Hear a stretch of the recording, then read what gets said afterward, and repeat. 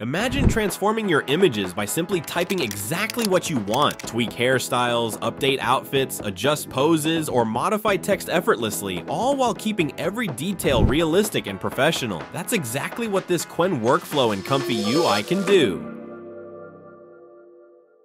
Alright, let's not waste any time. Before we can start editing, we need to set up the workflow, and that means downloading a few files first. The good news is, this workflow only needs four of them. The main Qwen Image Editing FP8 model, the Lightning LoRa that makes edits fast in just 8 steps, a VAE, and the text encoder. But if you're on a smaller GPU, don't worry, we also have a section on our website that covers how to get the GGUF workflow up and running, which is much lighter on VRAM. Once you've downloaded those four files, files, just drop them into the right Comfy UI folders, and if you're not sure where they go, check the written guide below. I've linked all the downloads and the exact folder structure. With that out of the way, the next step is to download the workflow JSON from our site. After downloading, simply drag and drop it onto the Comfy UI canvas, and the full setup will load instantly. Now, if you see any red nodes, don't panic. That just means you're missing some custom nodes. To fix that, open the Manager tab, click Install Missing Custom Nodes, and once it finishes, restart Comfy UI. When everything reloads correctly, you're ready to move on and run your very first Qwen image edit.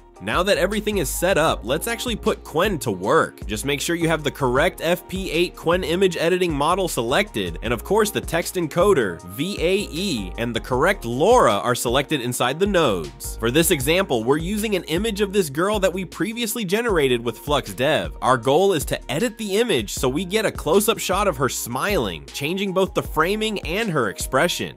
When typing your prompt, be specific about what you would like to keep the same and what you want to change. In our case, we want to keep all facial features, hairstyle, outfit, background, and lighting the same, but adjust the framing to a close-up of her face and shoulders, and give her a big, joyful smile with sparkling eyes while keeping it photorealistic with soft, cinematic lighting. Since our input image has a 1 to 1 ratio, we'll keep that same ratio here, but there's a drop-down menu in the image resizer node that lets you choose different aspect aspect ratios. Perfect if you want to change the original image to a new aspect ratio. Next, check the K-sampler settings. 8 steps, CFG set to 1, Euler as the sampler, and the scheduler set to simple. Once everything is ready, click run and Qwen will generate the edited close-up smiling image in just a few seconds.